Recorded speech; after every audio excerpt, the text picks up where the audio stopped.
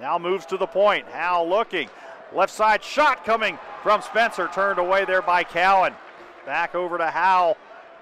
He'll drop it for Gibson. Now a shot from Howell from the right side goes wide of the net. Puck up the left wall. Gibson with it at the blue line. Back over to Howell, right circle. Howell holding it. Throws it out front. Backhander a save and a shot and a score as Spencer came in.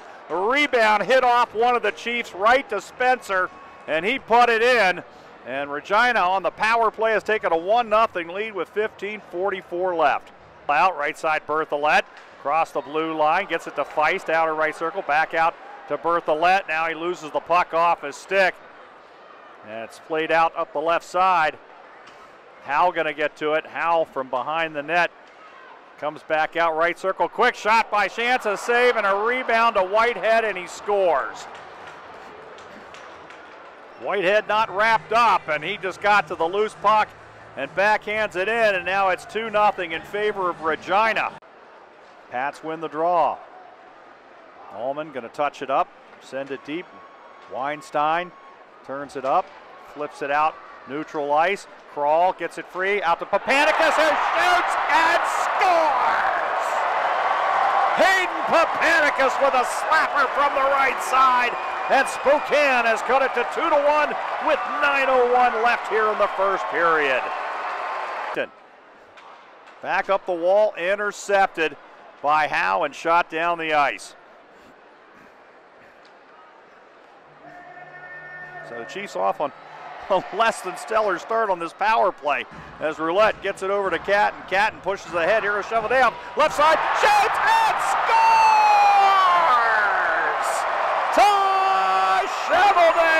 With 9.24 left in the period, and Spokane has tied this game at two. In a 2-2 tie, minute 25 left on the power play. Here comes Berthollet, cross the right side, in the right circle, out open roulette, snaps a shot, he scores!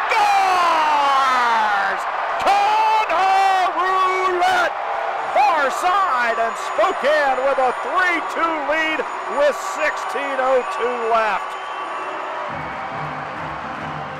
Roulette with his 36th goal of the season. It's his 12th power play goal. That is fourth most in the league. Puck sent back in the Chiefs zone. Mays is back there with it. Shoots it up left side. Van Olm ahead. Bonni. Bonni making a move left circle. Bonni in behind the net. Wrap around and he scores!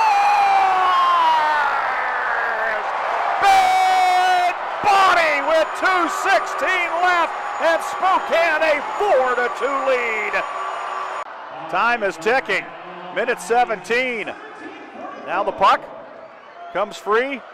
Now it comes out to Catton who turns and fires, shoots, and scores!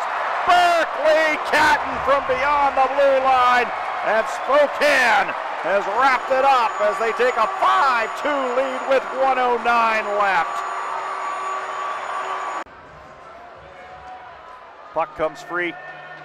Chiefs with it.